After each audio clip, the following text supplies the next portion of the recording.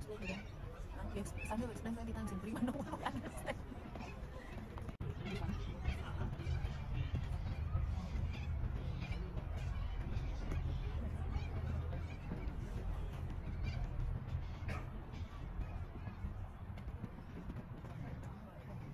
Ini baik,